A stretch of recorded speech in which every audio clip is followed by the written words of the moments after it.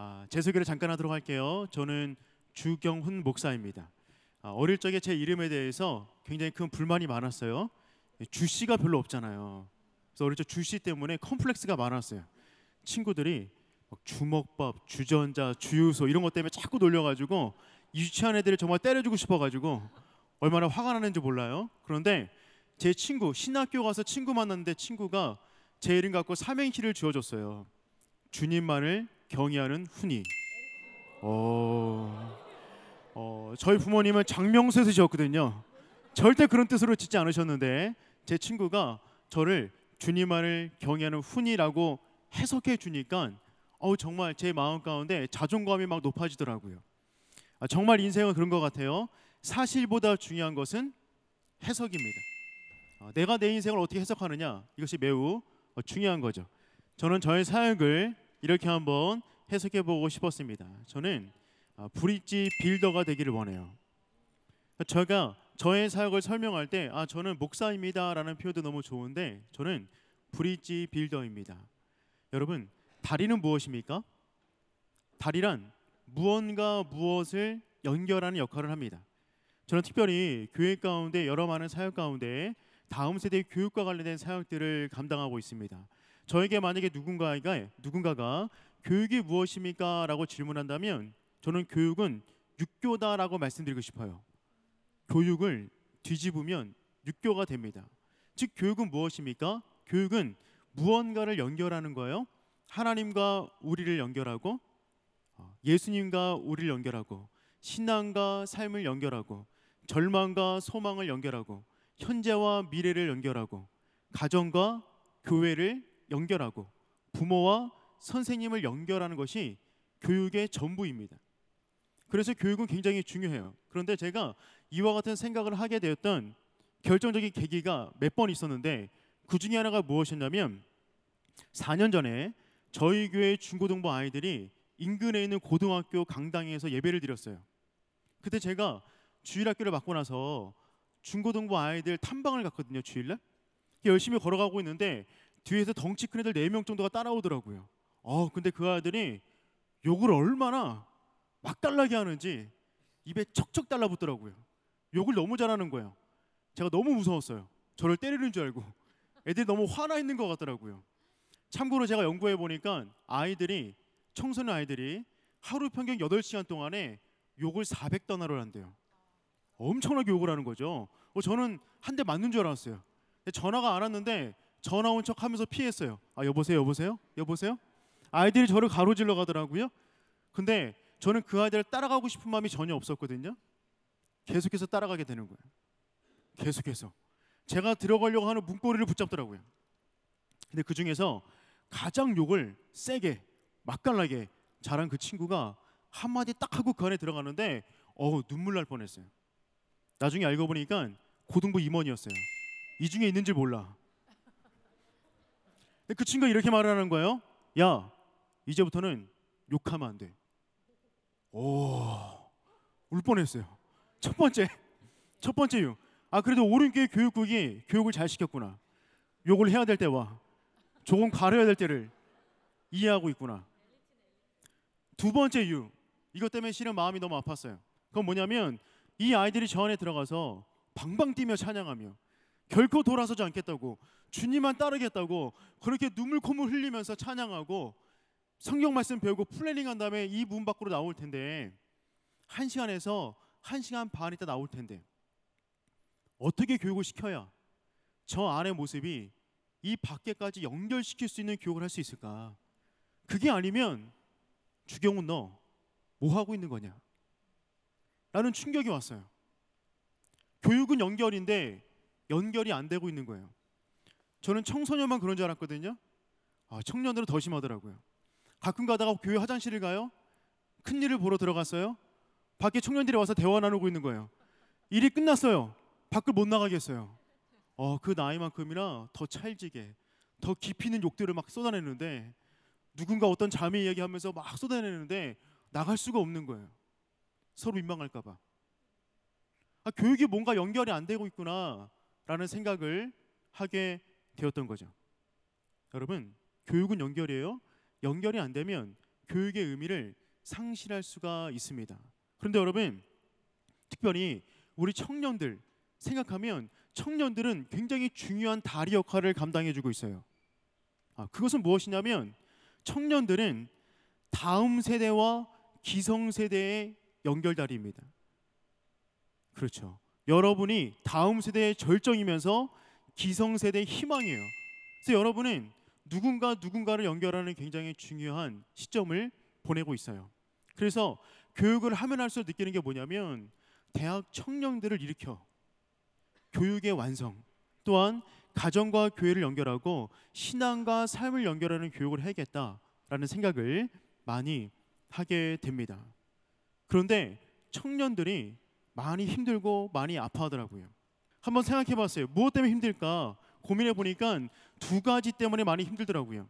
이것을 그 유명한 말로 뭐라 그러냐면 깔때기 이론이라고 합니다. 깔때기 가운데 어느 곳으로 물을 넣어도 떨어지는 지점이 정해져 있잖아요. 청년들의 삶이 굉장히 많지만 그것이 떨어지는 지점이 두 지점 두 지점인 거예요.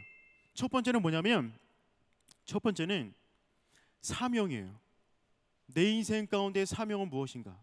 하나님은 나를 왜 만드셨는가? 나는 그것을 어떻게 준비해야 되는가? 나는 오늘 무엇을 해야만 하는 것인가? 이렇게 리더 수련회 와도 우리가 늘 부르짖는 게 뭐예요? 나에게 사명을 달라고 발견하게 달라고 사명에 관한 문제이죠. 두 번째 문제는 뭐냐면 뭐니 뭐니 해도 연애와 결혼이에요. 그런데 생각해 보면 이 두 가지 문제가 결국 하나더라고요. 사명과 결혼에 관한 이야기가 결국 하나로 끝납니다. 여러분이 지금은 여러 가지 많은 위대한 꿈을 꿀 수 있고 창의적인 사명을 지닐 수 있겠지만 누구를 만나냐에 따라서 인생의 방향은 완전히 바뀌어요. 한 번 더 생각해 봤어요. 교회의 문제는 무엇일까? 생각해 보니까 교회 문제 역시 동일한 문제로 고민하고 있더라고요. 첫 번째 사명이에요. 교회의 첫 번째 사명은 뭐예요?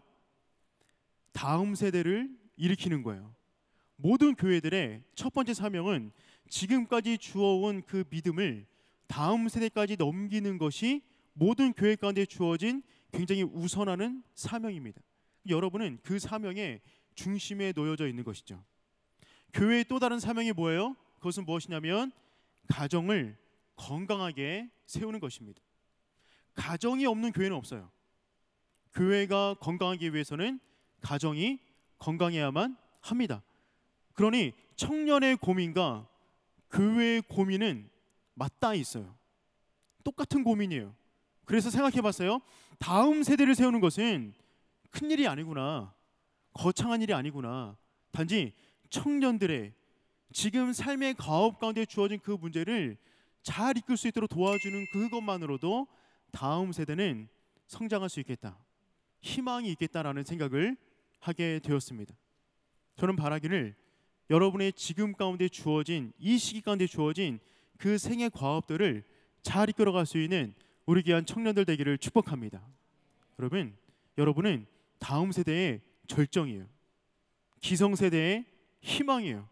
그래서 여러분이 무언가 연결시켜주는 그 역할들을 감당해 주셔야만 합니다. 그러기 위해서 저는 여러분에게 두 가지를 부탁드리고 싶어요. 두 가지. 첫 번째는 뭐냐면 여러분 상처에 상처에 매이지 마세요. 여러 많은 청년들을 보면 볼수록 느끼는 게 뭐냐면 요즘 시대가 많이 힘들고 어렵다 보니까 많은 상처 가운데 쌓여 살아가고 있습니다. 물론 청년은 아픕니다. 사람도 아픕니다. 부모님도 아픕니다. 모든 사람은 상처를 지니고 살아가요. 그런데 상처를 끌어안아서는 안 돼요. 2018년도가 시작이 되었어요. 2018년도가 어떤 해죠? 황금 개띠. 오, 그래서 그런지 우리나라 특별히 강아지를 굉장히 좋아하는데 모든 사람들 머릿속에 강아지 두 마리를 키우고 있어요. 여러분 지금 다 키우고 있어요. 강아지 첫 번째 편견, 두 번째 선입견. 모든 사람들은 편견과 선입견을 키워가요. 근데 얘는 죽지도 않아요. 너무 잘 키워.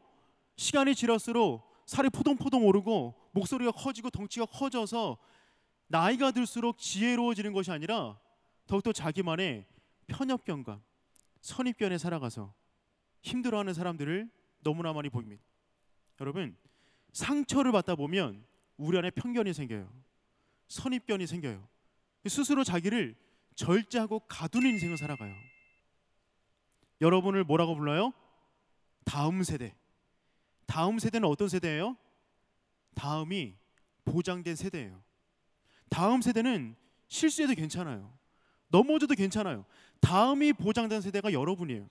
여러분의 특권을 마음껏 사용했으면 좋겠어요. 여러분, 우리가 살아가는 삶이 힘들 수 있습니다. 요즘 청년들을 보니까 이런 표현 많이 쓰더라고요.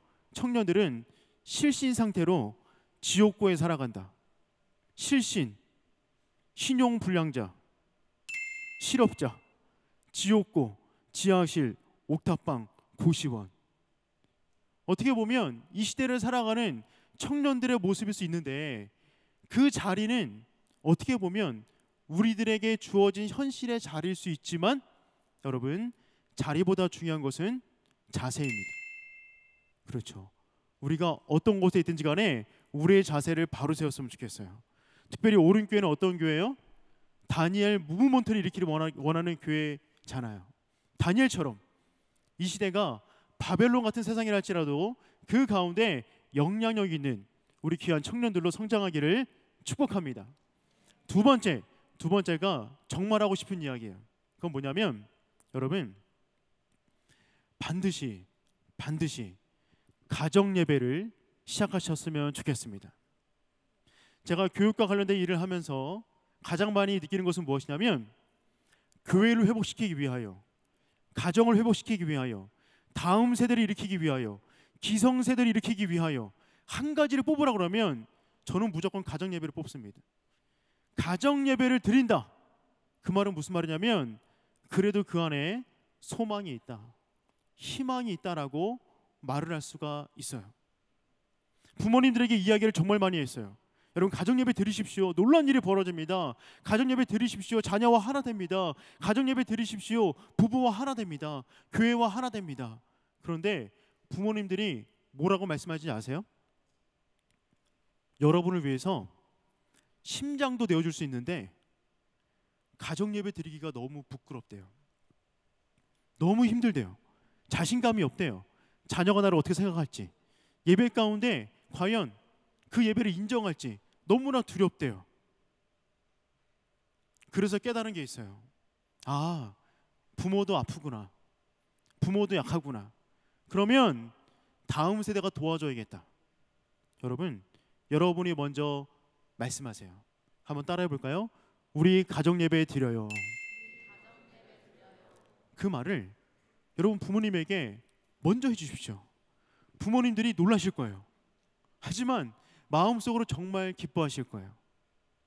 가정 예배를 드리는 것만으로도 우리의 다음 세대는 우리의 교회는 우리의 가정은 얼마든지 살아날 수 있다고 저는 확신합니다. 여러분, 저는 목사예요.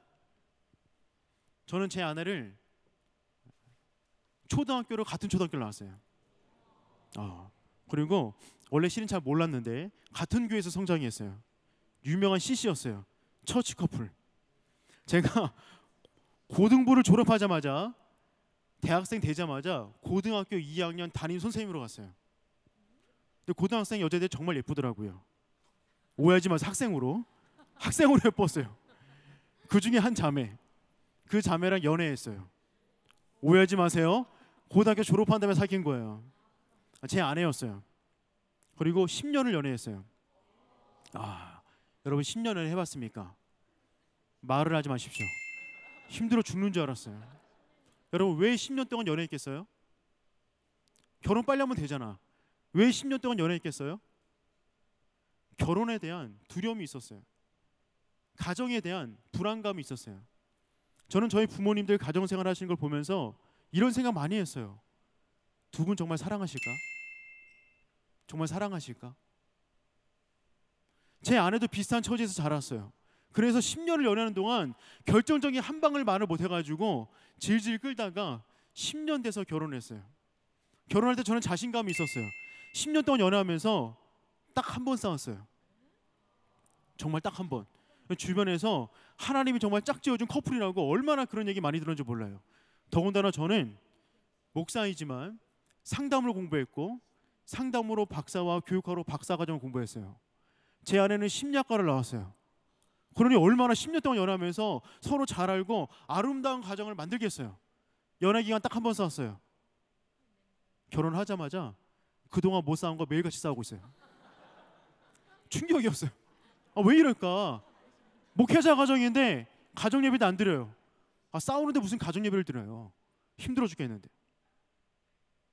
그러다가 아이가 태어나고 아이가 자라면서 이러면 안 되겠다 결심하게 돼서 가정 예배를 드리기 시작했어요. 그때부터 제 인생 가운데 의미를 발견하게 돼요. 목회자로서의 의미를 발견하게 돼요. 저는 지금 자신 있게 말할 수 있는 게 제가 제 인생 가운데 지금이 가장 행복한 것 같아요. 뭐가 잘 돼서 이런 거 아니에요. 그냥 가정에 들어가면 아이들과 함께 말씀을 나누고 아내와 함께 말씀을 나누고 함께 기도하고 나, 나를 위해서 함께 기도해주고 예배하는 공동체가 있다는 것 사실만으로도 저는 너무 행복해요. 제 딸아이가 지금 올해 5학년, 3학년 됐어요. 3학년짜리가 큐티하고 예배하면서 쓴 게 있어요. 그걸 잠깐 말씀드려 줄게요. 오륜교회는 원포인트 통합교육을 통해서 전 세대가 같은 본문으로 예배하고 같은 본문으로 큐티하고 같은 본문으로 예, 소그룹 드리고 가정 예배 드리고 있잖아요. 제 아이가 저랑 똑같은 거하고 큐티하거든요. 근데 얘가 이렇게 쓰는 거예요. 사무엘상 한나에 관한 이야기를 하면서 이렇게 썼어요. 그동안 소망은 알았지만 진정한 소망을 몰랐다. 큐티를 통해 진정한 소망에 대해서 알았다. 너무 궁금한 거예요. 초등학교 2학년짜리가 가 3학년 된 애가 느낀 진정한 소망은 무엇일까? 너무 궁금했는데 묻지 않았어요. 유치하게 나올까 봐. 왜냐하면 그 밑에 걸 또 보니까 얘 수준을 알겠더라고요. 얘가 이렇게 썼어요. 분인나가 한나를 괴롭혔잖아요. 이렇게 썼어요. 분인나는 슬픈 한나를 괴롭혔으니 못됐군. 제가 정확히 이걸 보면서 얘 수준을 알아갖고 묻지는 않았어요. 근데 저는 이거 보면서 정말 회개했어요. 저는 한 번도 이렇게 큐티 해본 적이 없어요. 못됐군. 이런 식으로. 왜요? 거룩거룩해야 되니까. 잘 써야 되니까. 잘 보여야 되니까. 근데 아이들은요. 그냥 직설적으로 감성적으로 나오더라고요. 마치 모세가 내 적들의 목을 밟아주시고 막 이렇게 시편을 썼듯이 제 아이는 그렇게 써 내려가는 거예요. 그 아이가 쓴 거 한 문장 한 문장 보고 있으면 누가 배워요? 제가 배워요.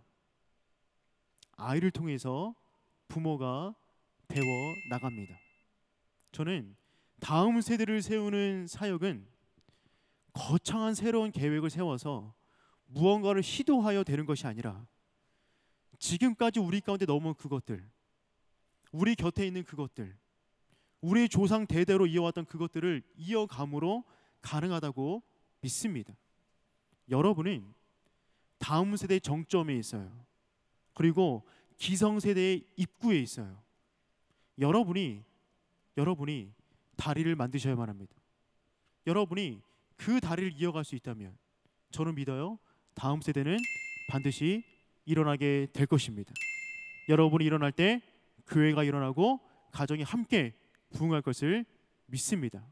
여러분이 그 훌륭한 브릿지 빌더가 되기를 축복합니다. 감사합니다.